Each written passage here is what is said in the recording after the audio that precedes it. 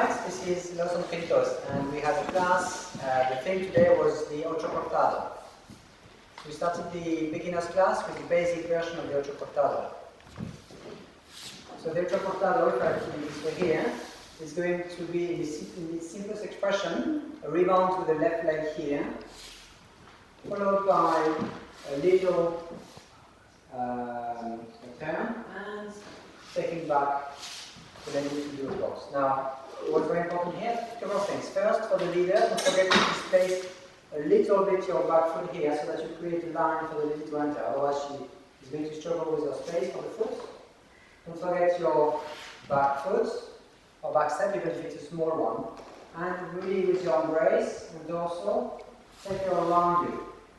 When she's actually transferring, in the middle of the transfer, you take her back. Now, to produce the need obviously to create a, bit a void in front of you so that she's actually crossing.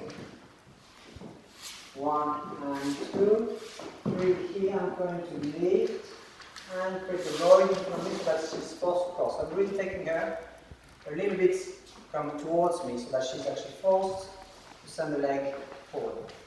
For the forward, when you do the rebound, be careful not to drop your heel. Um, this is basic technique for walking. You should resist um. Then here, it's a pivot, a side step, so you should be facing him. And then when you step up onto this leg, you go torso first, supporting leg, and then last, the cross, in this order. Okay? Make sure you give her time at the end of the cortado, because she's doing steps which are bigger than ours. And, and. In terms of rhythm, could actually do the cortado on the habit. Quick, quick, slow, quick, quick, slow, quick, quick, slow. Or I can actually slow down on the second part. Quick, quick, slow, slow.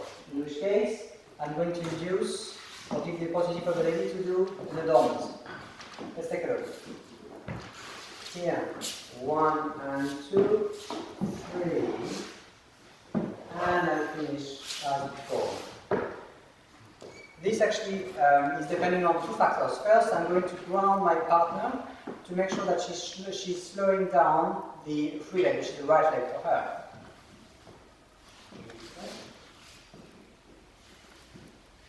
One and two, three, and she has the opportunity to adorn here.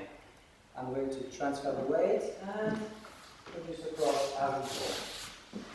One and two, three, up and down. Last thing that we did for the uh, intermediates is actually to add a bit of a pivot in our cortado. Rather than doing it, doing it in line, I'm going to have a pivot on the left leg and I'm going to seek my space or space with my right leg on the left here to uh, introduce a pivot. Let's see how it works. Bum, bum, bum, bum, bum, bum. Bum, bum, bum, bum, Of course, the little dormant, I can do this in this combination as well. Pivot, and cross.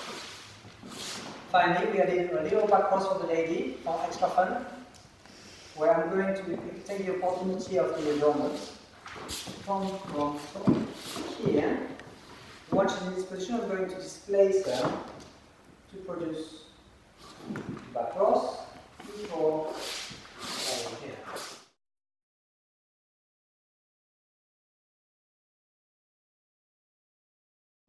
Si tú quisieras parar el tiempo, si tú quisieras volver sonriendo, no que siempre